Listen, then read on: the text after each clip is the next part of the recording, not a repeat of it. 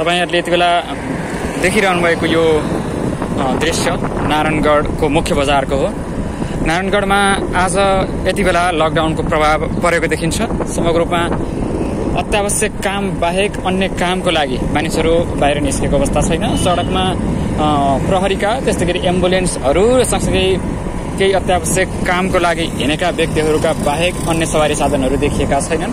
र लकडाउनले एक किसिमको प्रभाव समग्र रूपमा जनमानसमा पारिरहेको यो अवस्थामा तपाईँहरूले देख्न सक्नुहुनेछ। सबैजना घरभित्र हुनुहुन्छ र जहाँ जसरी बसिरहनु भएको छ सुरक्षित रहनुहोला र यो सरकारले लकडाउनको निर्देशन जारी गरिसकेपछि यो लामो समय लकडाउन भइसकेको छ र यो कोरोना भाइरसलाई देशबाट टाढा लैजानको लागि अथवा हाम्रो देशबाट टाढा भगाउनको लागि पनि लकडाउन गरिएको छ। समग्रमा विश्व नै एक किसिमको लकडाउनमा छ। विश्वलाई नै एउटा आपत परेको घडीमा छौँ। हामी सबैजना मानवीय समुदाय नै।